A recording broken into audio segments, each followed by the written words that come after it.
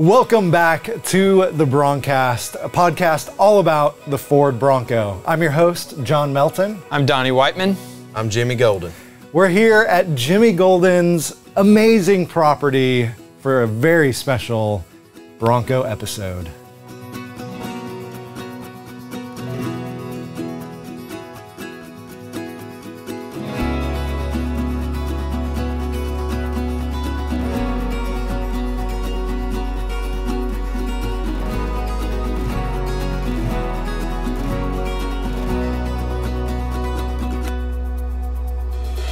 So uh, here we are.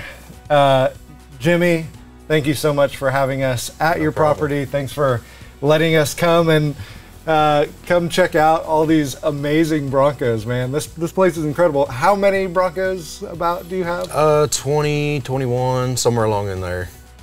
Something like that. Amazing. 21 Broncos. Yeah, what we wanted to do is we thought, what better place to come to talk about rare Broncos? Like, what makes a rare Bronco? Uh, is your Bronco rare? Do you know what you have? Yeah. You yeah. know, so this I'm- is ideal. I, I see it online all the time. Like people are, you know, rare, you know, blah blah blah Bronco, one of, you know, whatever, and I'm like, ah, is that really rare? Right. Or, you know, did you get a Marti report and saw, oh, they only made one that was like this, um, and you're like, oh yes, this is so rare. Well, it's a Bronco, it's cool, but it might not be as rare as you think. I thought I thought what would be really cool is if we could uh, pick out a few here. There's 23, we can't cover them all, but let's pick our like three favorites, and uh, we'll let Jimmy pick one out too. I'm sure he has a favorite. Yeah, yeah. Where are we? Where are we at?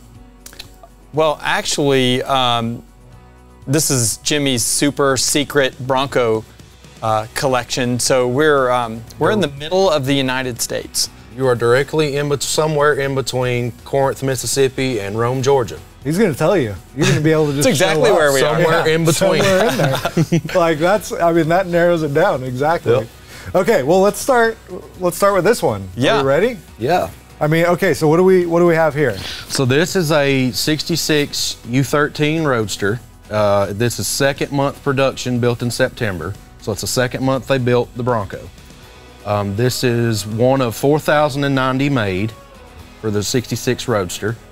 This one actually still has the original inserts in it. It has the fender mount mirror, the square cut bumpers, the eyebrow grill. The 66 features that you hear a lot about, um, and we've tried to retain those on this one. Now, we've we talked about Budd trucks with you on the podcast. Mm-hmm. Is this a Budd truck? This is what we call a Budd truck. This does have all those early Budd truck features that everyone discusses on the forums and whatnot. Uh, it has the eyebrow grill. It has the uh, you know the short fender apron, things of that nature that get brought up Budd truck talk. I like that it has the silver seats. I always Yes. love the silver seats, the silver dash, things they only did. Yes, I love the silver seats myself. Um, that's one of those rare 66 oddities. Uh, that's the only year you could have silver seats. Now, are these the Mustang seats? They are technically two Mustang driver's side seats, is what they technically are. And the reason they did that is they both have to fold that way. That one has to fold that way to fold in the floorboard. Oh, that's why it flips. I always Yep. thought they were supposed to flip like that, and it's like, but they both sort of go to the right. They so technically it's two Mustang driver seat frames Oh, that's cool. is what it is.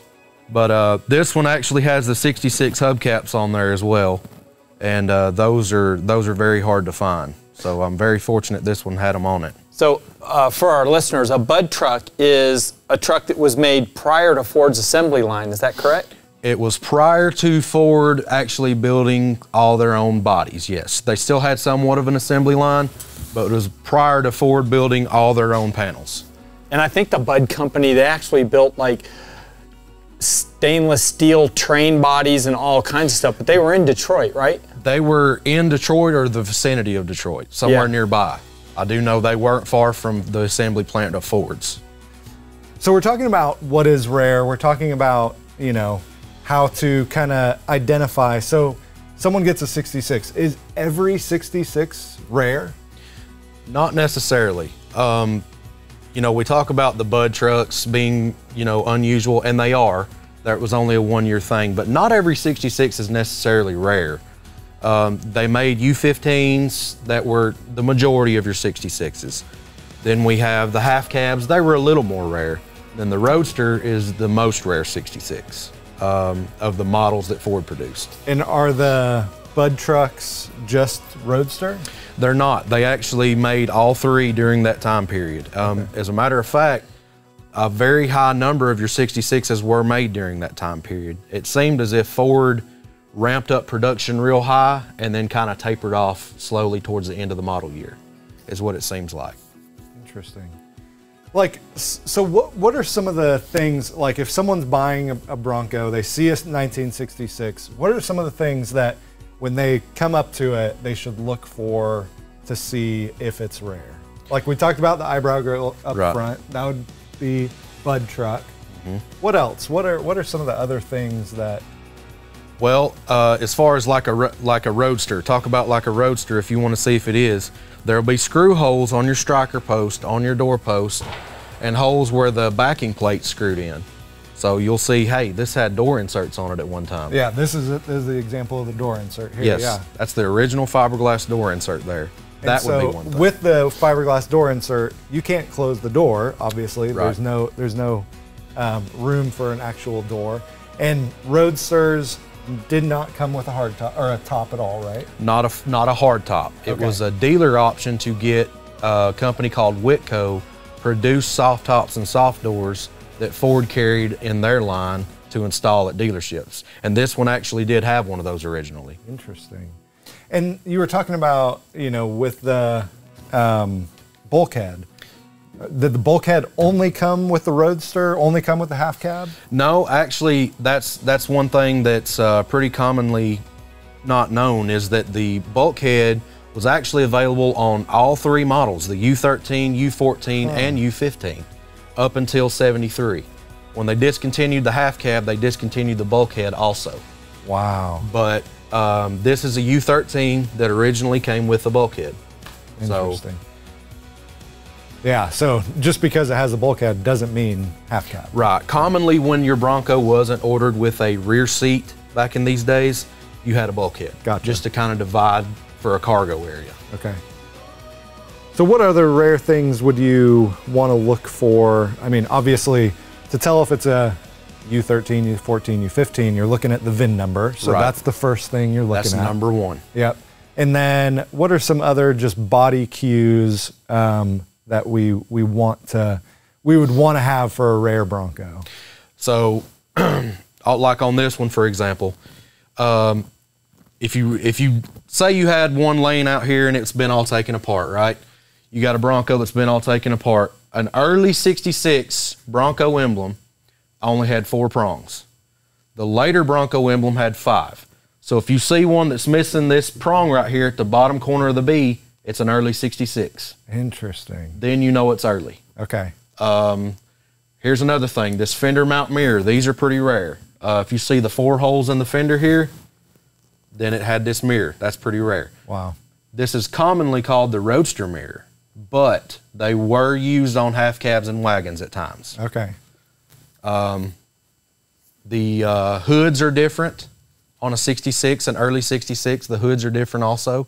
They have some different bracing underneath. Things like that are rare. Okay. You don't you don't see that a lot. Okay. That's interesting. Yeah, I, I always wonder, like when I see a 66, is it's like, okay, how rare, how rare is it? Right. But definitely, Budd Truck would be eyebrow grill, um, Four prong emblem. four prong emblem, fender. Yeah, the short inner fender apron. Yep. Or actually, that's the kick panel, but Yeah. inner, short kick panel. Yep.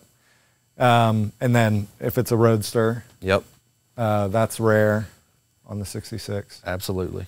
Well, let's move on. Let's let's look at some of the other. Or do you have any questions? Yeah, no, actually, I think the next truck I'd really like to see is um, like government issue or municipal trucks. I know that uh, there weren't a lot of them sold to the government, but uh, you have a couple of those. So can we look at those? Absolutely. Let's look at them. All right, Jimmy. So what do we what do we have here? So this is my 67 military Bronco. Uh, this was purchased by the United States government from Ford and was used in military services. These were commonly used like on military bases, just kind of a go-getter vehicle. Uh, but this one, this is one of those. They made a limited run of them in '67, and uh, this one's actually pretty complete. You can see the headlight guards there in front. And the Yeah, these these are really cool. Yeah. You never see those. That's right. Those are very, very hard to come by. and uh, the fender mount mirrors, those were commonly used on these military trucks also. And what year? This is 67, you said? 67, yes. 67 was the contract year that you see military Broncos, but there might have been a one off here and there where, say, a military base ordered one from Ford just to have a go getter. But this was the contract year that they built, you know, built them in a actual ordered run. Now, how can you tell if it's a government issue or not? Because a lot of these trucks have been converted, and they look just like all the other Broncos. You know, they've taken all the government issue things off of it. But is there a identification on it somewhere? There is. Um, so the number one thing you're going to look for is if you still have your warranty plate, and on 67, that's going to be on the driver's side kick panel near the e-brake. If you still have that, you'll look for uh, an 83 DSO code on the bottom right-hand corner, and that will mean that it was sold to the government. That's a government order DSO code. 83. 83. That's your government code. Also, there's a tag on the dash that goes missing often, but I'm lucky enough this one still has it. There's a tag on the dash that says U.S. property right on the bottom. It has like a nomenclature number and, you know, it has the VIN number on it. Can we see that? Absolutely. So where are we looking? So right on the center of the dash here is this plate that had four screws holding it on. And all these military Broncos, except one or two that I've ever seen, were radio delete. So you can see this tag here in place. That's so cool. It says U- U.S. property right on the bottom of it. Hey, John, I think one of my favorite things about this truck are these straps in the roof on the back. And uh, what's really neat about this is that these are actually uh, like a canvas olive green webbing. So, Jimmy, you said these are actually for. Those are grab handles. Basically, if you had a passenger in the back, they had something to hold on to. If you're riding, you know, riding around the base or wherever they may be, um, that was something for a passenger to grab onto back here that the military added at some point. I noticed this is different too. Right here, we've got some holes that are uh, sort of bead rolled right in the corners that I haven't seen on a roof before. Yes, those are uh, those are found on 66 and 67 roofs, and I have no idea why they stopped doing that, but they did. They stopped doing that sometime during the 68 model year, and uh, so you'll only see that oblong hole there on 66 and 7 roofs. The uh, the whole inside of the stuff is still green, and then there's what's the sticker over the passenger on the roof there? That is a civil defense decal that uh, states that this vehicle is on loan for civil defense use.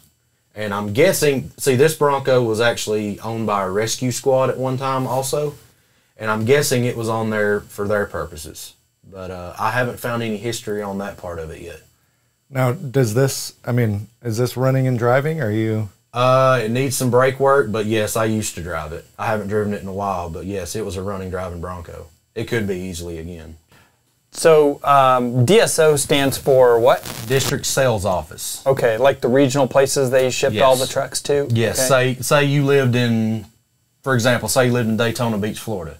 Your nearest district sales office was Jacksonville. Mm-hmm. So if you bought a brand new Bronco and you lived there, it, it would have had a Jacksonville DSO. Whereas you guys, It was Memphis, wasn't it? it would have been Memphis Yeah. or Louisville. oh, okay. Mm-hmm. So do you have any other DSO tagged vehicles? Yeah, the one right in front of us here actually is another 83 government DSO Bronco. Oh, code 83 or number 83? Yes, All right, 83. cool. Let's go check that out. All right.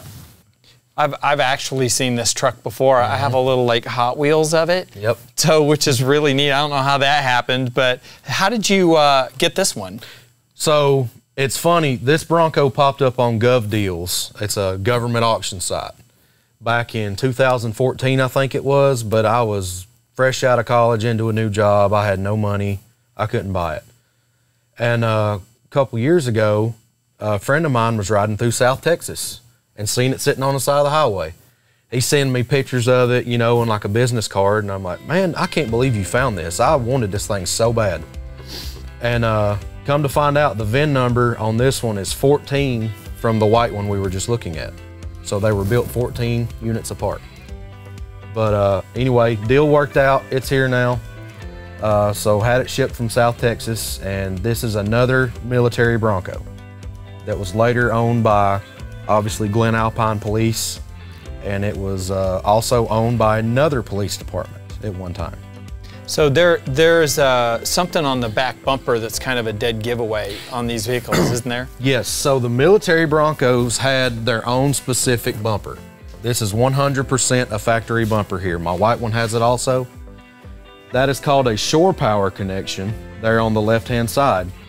It's where military grade equipment could be plugged in, similar to what we'd have like a trailer plug on your truck.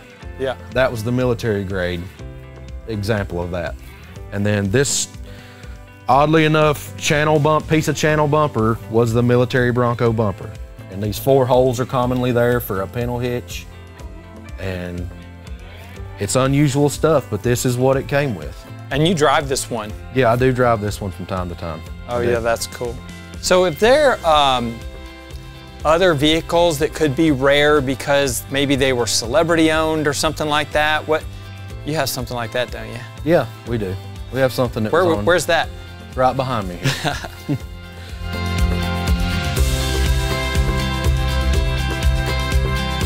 this is a 68 U13 Roadster.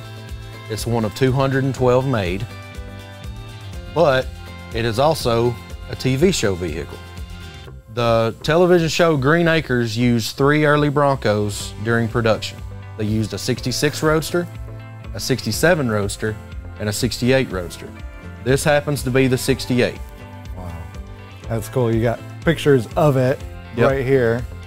That is amazing. Now, it's red in these pictures. Was it painted maroon? It was painted maroon sometime later in its life. Uh, it went through some changes after the show, and uh, so it lost a few of its signature marks along the way, but it they left enough so you could figure it out. Now, I mean, how do you even figure that out? How, like, you know, Broncos are in TV shows all the time. How do you how do you find that? So in this example, it was a little easier because it was already rare. You know, it was already one of 212 made. So then I started looking at those pictures saying, okay, so it has an antenna on it. So it came with a radio. So it's not a radio delete. It had chrome bumpers. So it didn't have painted bumpers. So you start narrowing those down.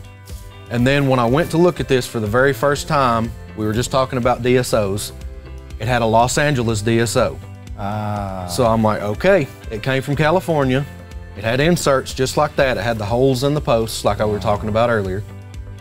It had, and you can tell where they filled the holes for that fender mount mirror. And, uh, you know, start adding up all the options. And then, Marti report. Yep. Got the Marti report. I went with the Elite, and it's one of one with all the same options that had chrome bumpers. wow. So it's the only one ever made like the one on the show. That's awesome.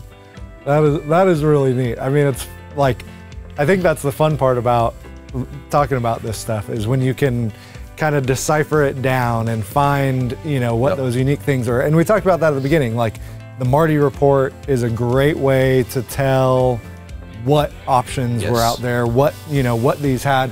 But that doesn't necessarily mean it's quote unquote rare Right. just because it was the only one with those options.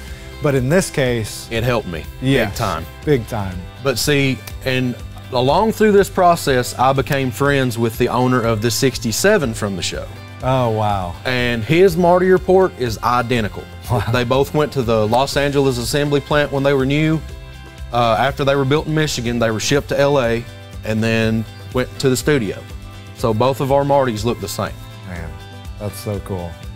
Well, it's so cool, like just the history that you can find. And we talked about uh, in a couple episodes ago just all kinds of information that is out there on the internet. Right. Not all of it is correct. And so it's important to, you know, kind of pull all the information that you can. And if you missed that episode, definitely check that one out. Jimmy comes on and just talks about uh, how to kind of decode the VIN and, and some rare stuff there. This is definitely a cool piece of history. Um, and I love that you guys have it amongst the other 20 I love here. it too. yeah, yeah. Well, definitely cool. Okay, so we've looked at a unique, very unique 66, some DSO 83 67s, the the 68 that was on a TV show. What is your favorite Bronco here? My favorite Bronco here is the one I grew up in. Get, my dad traded for it. He traded another Bronco for it when I was about four months old, and it's been here since. Well, let's take a look at that. All right. So this is my 76 Explorer package Bronco. Um, it's been converted to a half cab. Obviously, it wasn't originally a half cab, but so this one, when I was a baby, Dad traded another Bronco for this one.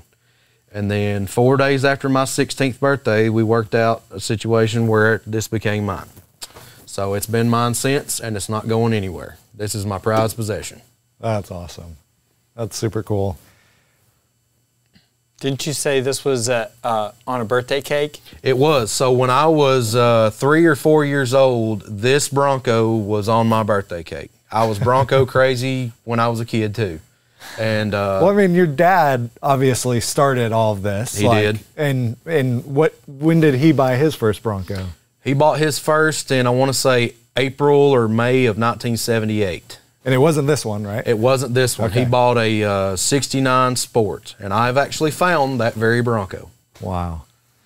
And so yeah, I mean, it, uh, like that's the cool thing about all this is the the Bronco fever just gets hmm. passed down. You know, like my kids always you know see a Bronco driving around Bronco.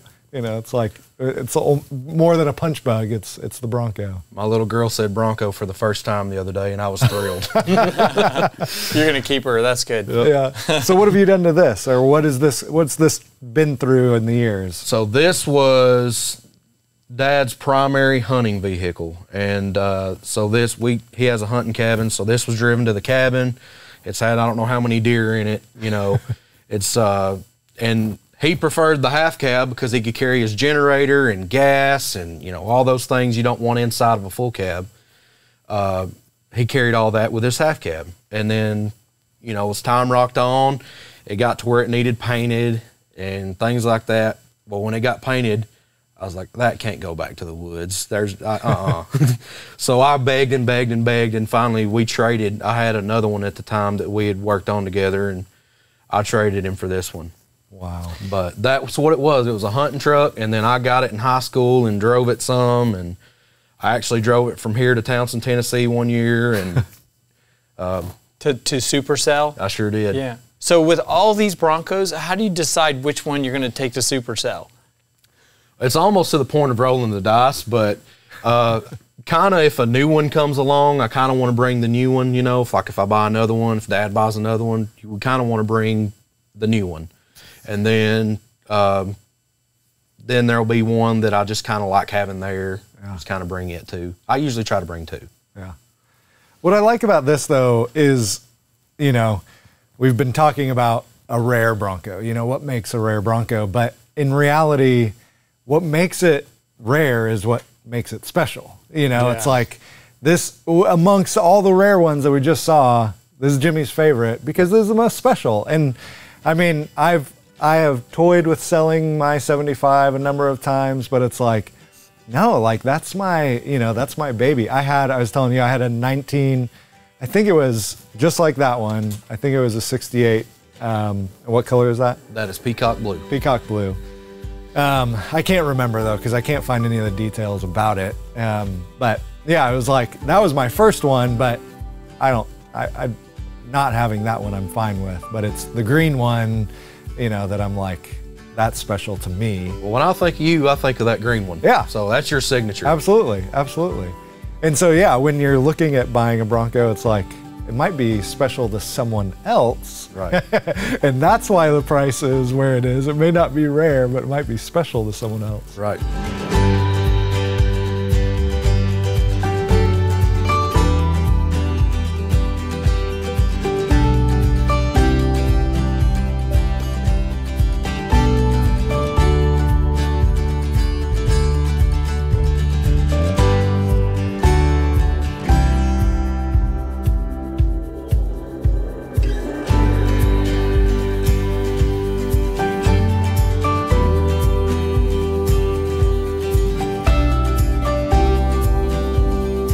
We're over here by another one of your trucks, a Mojave tan Bronco with a Wimbledon white half cab roof. But I wanted to ask you about a really crazy option I heard about. Not seen it, but it's like a PTO. Mm-hmm. How did that work, and what could you operate with a PTO on a Bronco? So your PTO worked.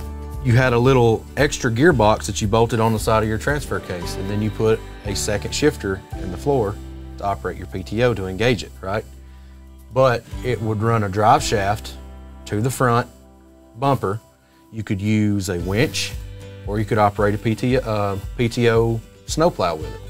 I heard you could do a post hole digger too. Yes, you could. Now those were a little different. Now I haven't dug into those as much because those are a little crazy looking. But yes, there were some post hole diggers out there. I've seen advertisements for them. Yeah. So those are a little bit. I'd have to I'd have to look into those to understand that a little more. Well, that's crazy. I mean, man, Jimmy, thank you. Oh, no problem. You and your family for letting us come and just, you know, drool over all these Broncos and all the parts just everywhere. I mean, we've just scratched the surface and however many we have in here and then all the other ones out on the property.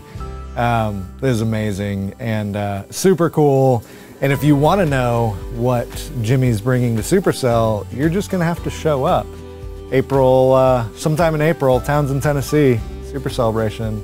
Pretty cool. There's some super cool Broncos that show up to that- Absolutely. to, to that event. It's uh, it's the cool one for sure. If you're coming to see some unique and rare early Broncos, that's that's the one to go to for sure. But Yep. yeah, thank you for for letting us come out and um, Thank you guys. It's been fun. yeah, it, it's a beautiful place out here. There's little slice of heaven. Yeah. We'd really stay is. all day. Yeah. You have to run us off. Oh, you're welcome to stay. And we even get, keep getting gunshots while we're here. It's like just it's the it's the people who are trying to come and see the Broncos who aren't invited. if you hear the gunshots during this podcast, that's what that is. Welcome to Alabama, folks. Cool. Yeah, that was awesome. Yeah. Done. Great.